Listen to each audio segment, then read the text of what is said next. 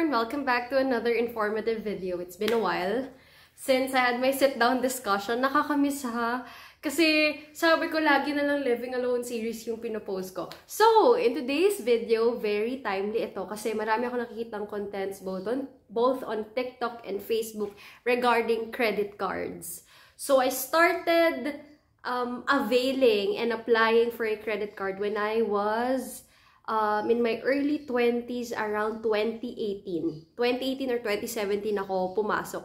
Ano na influence ng boss ko. Kasi sabi niya, Ruch, napakagandang may credit card. Huwag kang gumaya sa akin na late na akong nag-apply. And late ko na na-maximize yung benefits nito. Sabi niya. So, I tried. My first credit card was Union Bank. So, matagal na akong um, nag a-avail and at the same time gumagamit ng credit card. So, in today's video, I want to share the credit card mistakes you should avoid. Parang naka twice ba ako na nagkaroon ako ng credit card trap? Because I don't know how to use it eh. Kasi syempre mga magulang ko, boomer sila, sanay sila sa traditional walang masama doon na ah. kasi yun yung kinagisna nila and hindi pa ganun ka-open yung mga tao sa paggagamit ng credit card nung panahon nila, di ba? Very konti lang yung options noon, usually savings account, naalala ko pa nun yung nanay ko, may cooperativa pa yan, iba-iba, di ba?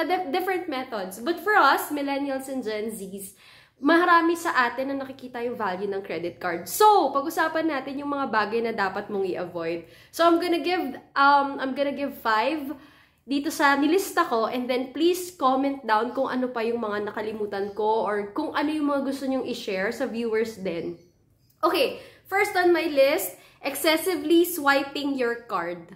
Nangyari sa akin to eh. Um, pag kasi first time user ka, may takot ka. But, ang credit card companies, ang pang-entice nila, mag-avail ka certain amount, say 20,000, tas wala ka ng annual fee. May mga ganun silang pakulo. So, ikaw naman, hala, saan ko gagamitin yung card ko ng 20,000? Di ba, bigla ka ngayon nag-iisip ng ways. And dun siya nagsisimula.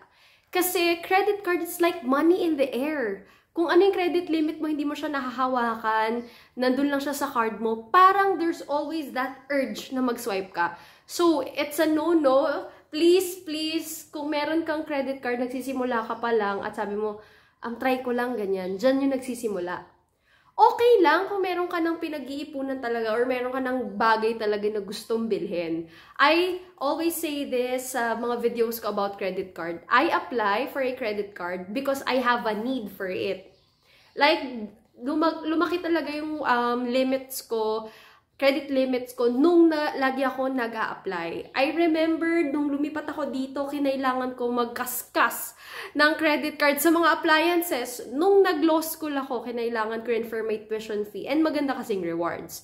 So, as a person and as your ate, yun yung masasabi ko na um, i-avoid nyo. Kasi dun siya nagsisimula eh. Yung akala mo, sige swipe ko lang, ganyan pero later on, hindi mo na naiisip na hindi mo naman pala kailangan. Tapos, ginagagamitin mo yung credit card mo. Automatic kasi utang na agad yun. Para ka nang may utang. So ako, ginagawa ko, say for example, ito yung card. Lagyan nyo siya ng pangalan. Meron ako nun card for ano emergency or mga for hospitalization. Meron akong card for ano for school. So, para alam mo na yung pinagkakautangan mo, for that purpose, hindi ka malilihis. Meron din akong card na intended siya for my auto-debits, auto-deductions. Lahat yung mga insurances, plan sa phone, um, anything na on a monthly basis binabayaran utilities, dun ko siya nilalagay. So, may mga ganun kang dapat um, ways eh. Para lang hindi ka biglang malihis kasi, sooner or later, marirealize mo, ang dami mo ng utang. Second, second on my list, not doing enough research. Ang maganda kasi ngayon, marami ng Facebook groups. Yung medyo timely ngayon, yung Kaskas Buddies. So, hindi ka masyado nakakakuha ng research, especially in my case, around 2018. Um, nahihiya rin akong i-open siya sa peers ko kasi yung peers ko wala pa silang credit card. Parang, kunyari, pito kaming magkakaibigan, isa lang dun yung meron. So, ikaw, parang di mo feel na kailangan mo. Pero in my case kasi noon, I, I am sending and supporting my brother to school. So, ginagamit ko yung card ko for tuition fee kapag kinulang ako. Sa kinsenas katapusan, doon ko siya ginagamit. But not doing enough research on the credit card that you're applying, crucial siya. Kasi magugulat ka, baka mayroon pang mas maganda pala na dapat in-applyan mo. Maganda nga ngayon kasi ang dami ng forums on Facebook groups na legit and Reddit na pwede mong i-mix and match sa ideas na naiisip mo kung ano yung gusto mong applyan. Third, just paying the minimum amount. Oh, baka may guilty dyan yung um, pagpipay ng minimum amount, akala natin okay. Pero yes, in a way, dahil hindi ka nag-incur ng interest kasi you're paying the minimum fee nga. Pero mas maganda sana kung may i-swipe ka, kung higit pa doon, or at least maski pa paano mabayaran mo ng buo, yung karamihan or yung malaking portion ng na-swipe mo. It's very important to also consider yung due date kasi, kung minimum na nga lang yung babayaran mo, lumagpas ka pa sa due date, naku po. Nakakatakot. For me, having a credit card is really about managing your finances. And may mga tao naman na kahit na naka-installment sila, pasok na pasok pa rin dun sa monthly salary nila. At minsan nga, sobra pa yung pagbayad nila. I like those people. And there are also um, credit card users na gusto talaga nilang i-maximize yung installment. Kahit anong side ka doon, whether doon ka sa straight na payment or doon ka sa installment, make it to a point na kaya mong bayaran yung kinuha mo or pasok doon sa salary mo, kinsenas katapusan, yung ibabayad mo. Kasi hindi mo naman talaga maiiwasan na, say for example, ang ganda talaga ng deal. Tapos, um, installment na sisilaw ka, pwede naman. Just take into consideration na kung babayaran mo lang minimum amount, i-check mo din yung salary mo kung pasok ba siya.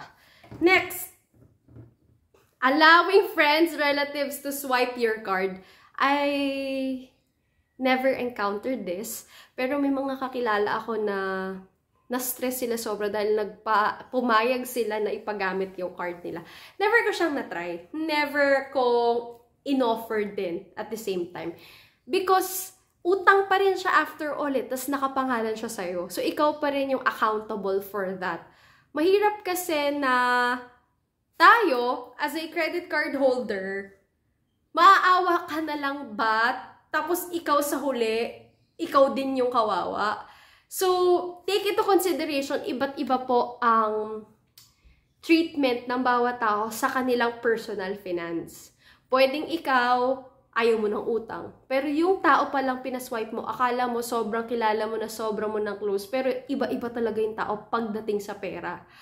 Nakakatakot siya, but ako, even my friends, wala namang kaming ganun. Well, meron kaming friend sa Singapore, nakasama ko sa trip ko. Hindi ko alam kung nanonood siya ng, ng video ko. Pero, ayun talaga, super generous niya in letting her friends swipe her card pero ako, personally, ako kung makikiswipe ako hanggang 5K lang.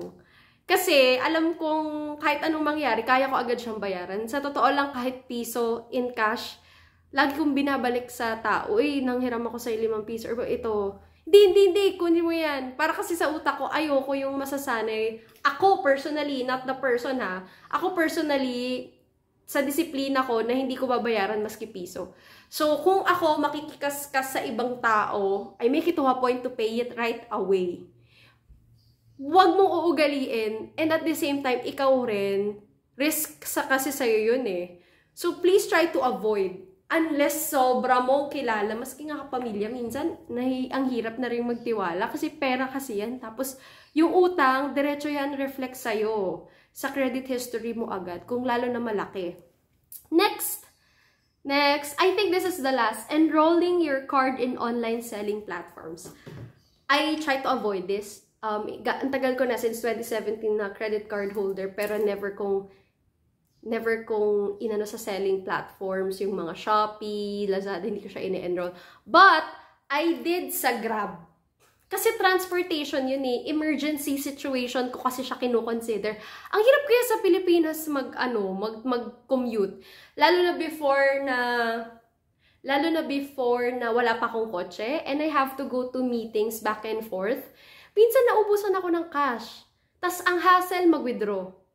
Doon ko siya ina-apply. But because in that circumstance, it's work-related. Pwede ko siyang i-reimburse. Tas talagang may allotted na ako for that specific meeting kasi plan, planado eh. So, yun. Doon ko lang siya, yun lang yung instance ko. Tsaka kasi grab food.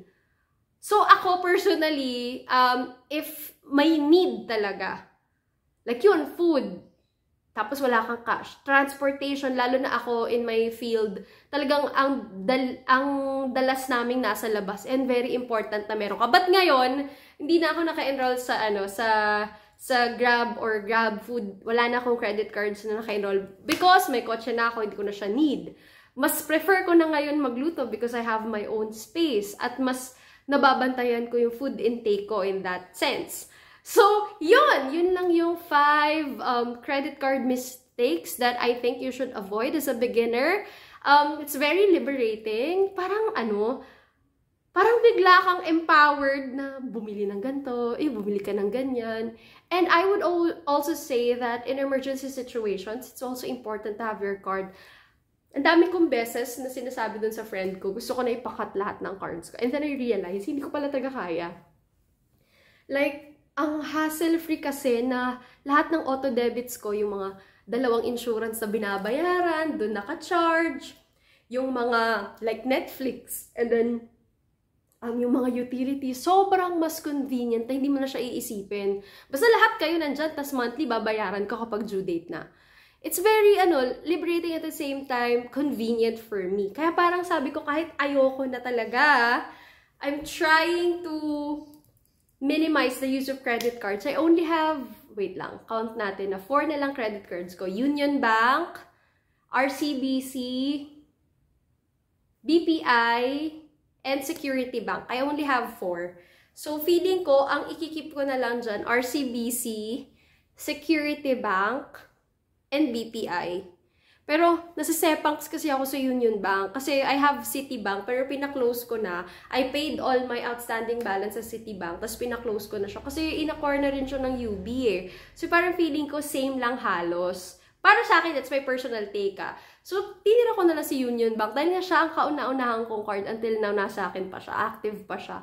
Pero, hindi ko na siya ginagamit at all. I only have like three active um, cards, um, Security Bank, which I use for everyday kapag may mga grocery, ganyan.